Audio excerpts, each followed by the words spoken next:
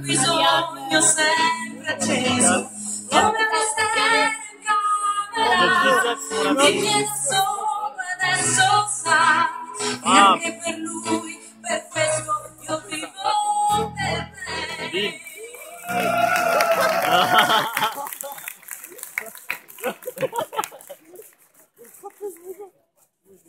Grazie Italia!